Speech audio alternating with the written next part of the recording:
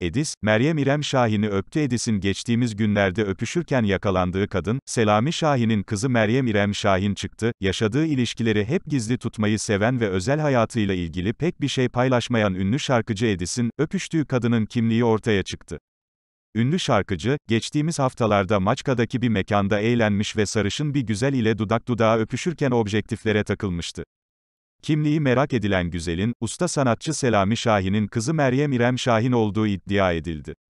İrem Şahin, şu sıralar sosyal medya hesabını çok aktif kullanıyor ve paylaşımlarıyla dikkat çekiyor.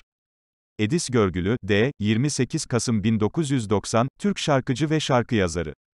Londra'da doğdu, çocukluğu İzmir'de geçmiş ve İzmir'de büyümüştür. Lise ve üniversite yıllarında okul eğitiminin yanı sıra müzik eğitimi de aldı. Galatasaray Üniversitesi İletişim Fakültesini kazanınca İstanbul'a yerleşerek albüm hazırlamak için hemen çeşitli kişilerle iletişim kurmaya çalıştı ancak başarılı olamadı. Bunun üzerine oyunculuğa başladı. Dinle Sevgili 2011 ila 12 ve Hayatımın Rolü 2012 dizilerinin oyuncu kadrosunda yer aldı.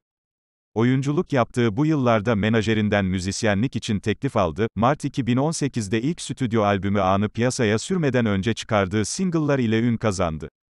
Aralık 2014'te çıkış single'ı, Benim Ol, ile eleştirel başarı yakaladı ve şarkı Türkiye'de bir hit olarak Müziktop PTR resmi listesinde 2 numaraya kadar ilerledi.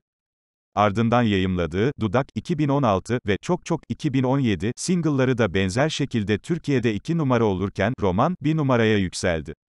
Edis bugüne kadar 3 Radyo Boğaziçi Müzik Ödülü ve 2 Altın Kelebek Ödülü dahil birçok ödül aldı.